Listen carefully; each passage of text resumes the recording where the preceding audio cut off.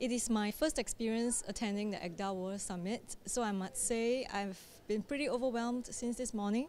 Learned a lot about the late founding father, Sheikh Zayed, and I think uh, it's an incredible effort from all parties to put together this event. I'm happy to be here. I really think that this is a very, very critical and important topic, uh, sustainable, sustainable development. And if you are talking about human capital development, I think that's equally critical and crucial for every government.